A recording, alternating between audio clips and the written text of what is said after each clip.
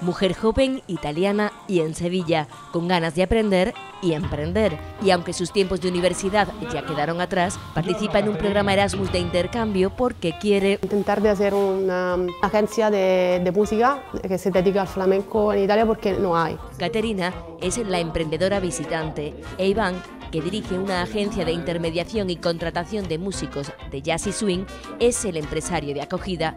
Juntos se benefician del programa Erasmus para jóvenes emprendedores de la Unión Europea.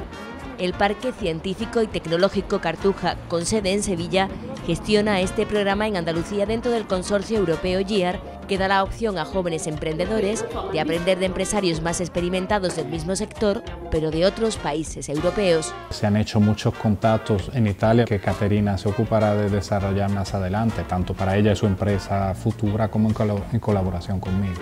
Caterina ha trabajado con Iván seis meses. En ese tiempo ha aprendido muchas cosas, sobre todo... Para mí, eh, el trato con los artistas, eh, tener la paciencia de acompañar a los artistas en sus necesidades.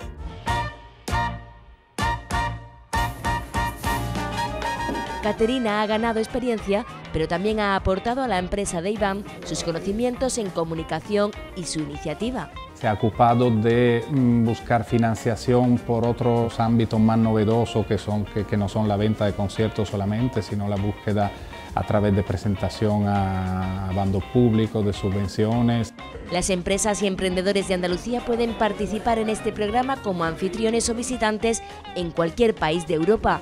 Los emprendedores visitantes reciben alojamiento por un periodo de entre uno y seis meses y una manutención económica. Esta ha sido la historia de Iván y Caterina, pero también puede ser la tuya, una historia que podría sonar así de bien.